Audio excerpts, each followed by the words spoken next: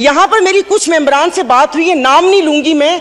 एक से मैंने कहा कि कल तुम डेस्क तो ना बजाते। सुन ली थी तकरीर। कहता, गरीब पैदा क्यों होता है? गरीब का कसूर है। इधर किसी ने मुझे बोला कि मुसलमान को सबर और शुक्र का दर्श दिया गया है। सबर, शुक्र करें, पूरी दुनिया में महँगाई है। मैं उसकी बात कर रही हूँ जिसके पाँच पाँच बच्चे और एक बाइक है, वो पेट्रोल भरवाएगा, दवाई लेगा या क्या करेगा? वो रीडिंग होती है, जैसे कल परसों ये वज़ीर खजाना साका साहब ने आके बिना जज्बात के यहाँ पर आकर कागज़ पढ़ के और ये जा और वो जा।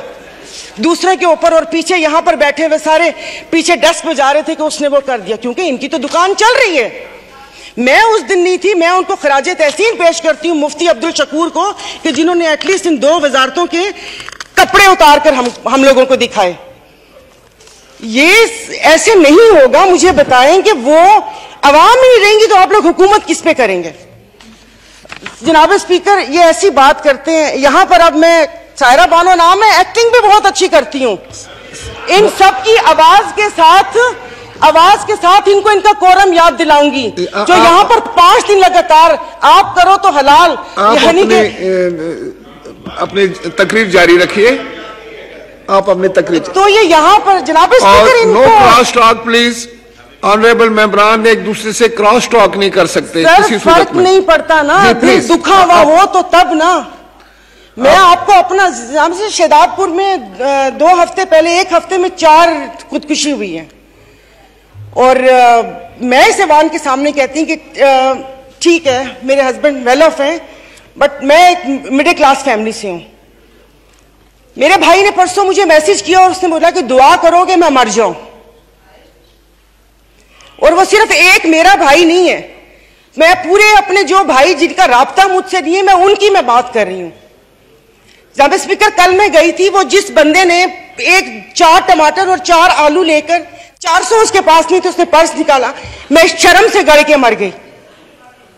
दो सौ बहत्तर लीटर पेट्रोल आप लोगों ने आप लोगों ने मुश्किल करनी है तो आप वी एट और बड़ी बड़ी लैंड क्रूजर ग्रैंड क्रूजर को 500 लीटर पेट्रोल देना। गरीब को आप नहीं वो करें। दवाइयाँ तो वो दवाई नहीं मिलती सरकारी अस्पताल का आपने हाल देख लिया मैं प्लीज़ आप मार दें। आप प्लीज़ मार दें। ये मेरी बहन पीछे बैठी हो तो पीछे ही बैठी रहो अगली दफ़ा की टिकट नहीं मिलेगी अगर ज़्यादा चुट चुट ऑनरेबल स्पीकर मतलब इनके दिमाग मिले ही नहीं उन लोगों से? इनके भूसा भरा हुआ दिमाग में? मेंबर आप मुझे एड्रेस करें और नहीं सर ये ऐसे बोलती कोई काम है नहीं। पार्टी में कोई पूछता पूछता है नहीं। और यहाँ पर आके सिर्फ़ ये चार अल्फाज बोल के और उसको वो कोशिश करती है कि हमने भी उंगली कटवा के शहीदों में नाम लिखवाया। मतलब ये कौन लोग हैं? आप जारी रखें। तो आप मुझे बताइए अशराफिया शराफिया शराफिया तो चली जाएगी यहाँ से। तो हम बदमाशियों को मार देना कि इस मुश्किल हालात में भी जीने की ख्वाहिश रखते हैं। ये बदमाशी नहीं है तो और क्या है?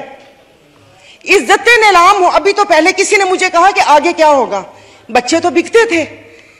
इज्जतें भी नीलाम होती थी। आई एम सॉरी भले आप एक्सपेंस कर दीजिएगा अल्फाज। पहले ढके छुपे होती थी, अब खुलेआम होंगी। और मैं इज़्ज़त नहीं बोलूँगी। जिस जिस्म फरोशी बोलूँगी।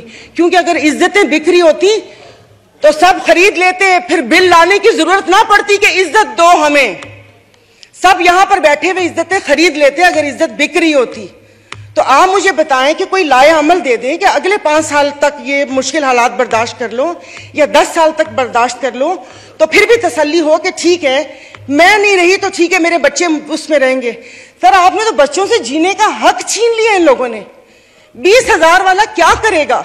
और इंसाफ की आप बात करते, मैं तो अदालतों वाली इंसाफ या उस चीज़ की अभी वहाँ तक तो मैं गई नहीं। आप ये चीज़ों को देख लें। यानी कि मेरी अगर आमदन दस लाख रुपए महीना आता है, मैं भी वही मुर्गी खरीद रही हूँ, आठ सौ रुपए किलो, और मेरा ड्राइवर बच्चल जिसकी तीस हज़ार रुपये तनख्वाह है, वो भी आठ सौ खरीद रहे वो दूध दो सौ रुपए किलो मैं भी ले रही हूँ, दो सौ किलो वो भी ले रहे हैं। मैं घर में अब ग्रोसरी नहीं लाती। इसलिए कि मुझे शर्म आती है कि वो ड्राइवर बावर्ची उठाएगा तो उसके दिल में क्या होगा कि ये थैले भरे आ रहे हैं और उसके घर में खाने को है या नहीं है? दो दो किलो की चीज़ मंगवा लेती हूँ कि जाओ बेटा सामने से लेकर आ जाओ। तो आप मुझे बताएँ मतलब थोड़ा सा जीने का हक दे दे। खुदा पाक को जाके जवाब देना यहाँ पर आप आयते पढ़ाते हैं आयते पर्दा कर चुकी हैं। आयते पर्दा कर चुकी हैं अभी ये कहते हैं वो तिकरी ना ये इनको शर्म नहीं आती? रात के अंधेरे में पेट्रोल का पंप गिराते हैं। हैं तो वो भी ज़रूर रात के अंधेरे में पेट्रोल का पंप गिराते हैं। मुझे तो समझ नहीं आ रही थी चश्मा नहीं था। मैंने कहा ये क्या हो गया? शायद मैं रात को रोई हूँ अल्लाह पाक ने मेरी दुआ सुन ली पता चला वो पिछले थे। मैसेजेस ना, जब वो यहाँ पर बैठा करते थे। अब सब कुछ जायज़ है, सब कुछ हलाल है। यहाँ पर बहुत तुर्की हमारे भाई हैं, और शुक्र अलहमदिल्ला शाम का नाम भी लिया। क्योंकि पहले एक हफ़्ता तो उस बेचारे का नाम ही नहीं था। फिर जब इंटरनेशनल मीडिया ने डालना शुरू किया तो हमने भी शाम बोलना शुरू कर दिया। हमारे भाई हैं, हमारे मुश्किल वक्त में खड़े होते हैं, दिलो जान से मदद करनी चाहिए। वहाँ पर जाने के लिए उतावले थे। कभी कहाँ तबाही आई हुई, उस दिन कोई पहुँचता है? उस दिन कोई पहुँचते जाए तो तब कि आप अपनी वेल्थ में से, जैसे ये भाई ने बोला कि हम लोगों से तो ले ली तनख्वाह। अवाम से भी वो दे दिया। अवाम के पास है जो अवाम डोनेशन देगी। वहाँ पर अल्लाह पाक उनकी मदद करेगा और वो रियासत माँ जैसी है, उनके हुक्मरान हमारे जैसे नहीं है। उनके लिए वो खड़े हैं। दबी हुए अवाम के लिए हम इजारे यकजहती के लिए बेचैन हो रहे हैं, लेकिन यहाँ पर जो मरी हुई फाकों से अवाम है, उसके लिए कोई दिल में दर्द नहीं है। तो अभी ये आयन की तकरीबात के लिए कितने पैसे वो हुए? इन्होंने अभी बोला कि हम तनख्वाह नहीं ले रहे एक लाख अस्सी हज़ार से क्या होता है? वो तो वैसे ही एक वक्त का खाना है, खाना पीना। तो लेकिन बाकी जो चीज़ें हैं वो, ये जो गाड़ियाँ, ये फ्यूल कार्ड, इनकी ताम झाम, इन सब पे कितना पैसा खर्च होता है?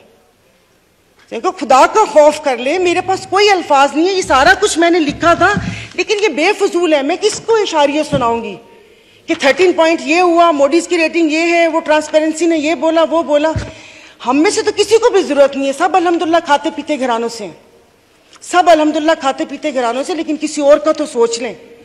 तो ये यहाँ पर प्लीज़ मतलब अब तकरीबन साल होने वाला है, आप भी कहते रहे, लेकिन यहाँ पर यहाँ पर आने की तौफीक नहीं हुई। मैं कुछ लोगों का, आप लोगों को दिलचस्पी होगी, आप यकीन नहीं करें, मुझे इस ऑडियो लीक से पीटीआई क्या कर रही है, क्या नहीं कर रही है, मुझे कोई दिलचस्पी नहीं है। सब जाएँ भाड़ में। लोग आवाम मर रही है, आप उसको देखिए।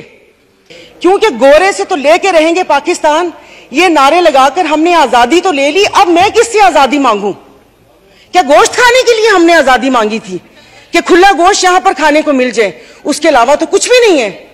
और मुझे माफ़ कर दीजिएगा कि उस कश्मीर वाले दिन में यहाँ पर ना वज़ीर आज़म थे, ना वज़ीर खारजा थे, ना दिफा मिनिस्टर थे और ये यहाँ पर कश्मीर का वो हो रहा था। और जो मोदी की कहानी सुना रहे थे, मुझे तो एक सेकंड के लिए, मैं तो उस वक्त आई थी, मैं समझी कि आप शायद यहाँ के हालात सुना रहे मुल्क को पता नहीं आप लोगों ने कहाँ से कहाँ पहुँचा दिया। टैक्सीज की बात करें, जैसे अभी मेरे भाई ने बोला, और कल उन्होंने कहा कि हुकूमत जैसे ही संभलने वाली थी तो सैलाब आ गया। तो जनाब स्पीकर, मुझे माफ़ कर दीजिए, जिस वक्त सैलाब आया तो उस वक्त तो हम अपनी ज़िंदा दिली का सबूत दे रहे थे। पचहत्तर करोड़ आवाम के खून, पसीने और टैक्स की कमाई से हम यहाँ पर तकरीबात कर रहे थे। और मज़े की बात है प्लीज़ मतलब मैं बहुत आराम से बात कर रही हूँ, कोई तंस नहीं करूँगी, कि अभी आइन की तकरीबात का आगाज़ हुआ है। क्या आइन के article three I think twenty seven या थर्टी फाइव थर्टी सिक्स आगे, क्या उस पर यह रियासत पूरा उतरती है?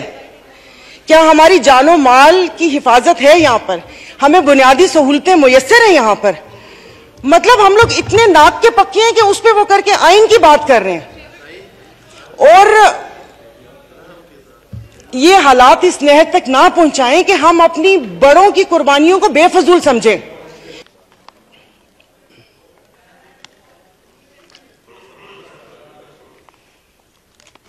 तो खुद ही कह लेते इनसे सिफारिश करवाई। मोहतरमा कंक्लूड कीजिए। वाइंड अप कर ले। तो मैं वाइंड अप ही कर रही हूँ। मेरे पास तो कोई ज़ाहिर है, वो इतने ना इशारिये हैं, ना मैंने मुआशियात इतनी पढ़ी हुई है। कॉलेज नहीं था। वो ऐसे ही वो कॉलेज था साइंस कॉलेज नहीं था आर्ट्स कॉलेज था, समझ भी नहीं आती थी। मुआशियात एग्ज़ाम था, तीस नंबर थे, तीन ग्रेस मार्क ग्रेस मार्क मिले थे। तैतीस नंबर है मुआशियात के। और एक ही याद है कि इंसान मौशी जानवर है। लेकिन घर का किचन चलाती हूँ, घरेलू औरत हूँ तो मुझे पता है कि ये सब आई एम सॉरी ये सब बकवास है, ये जो बता रहे हैं। इससे ये होगा इससे वो होगा इससे ये होगा इससे वो होगा। जिस वक्त खाना बनाने या किचन में खड़े ना उस वक्त आटे दाल का भाव पता चलता है। शुक्रिया बहुत मेहरबानी।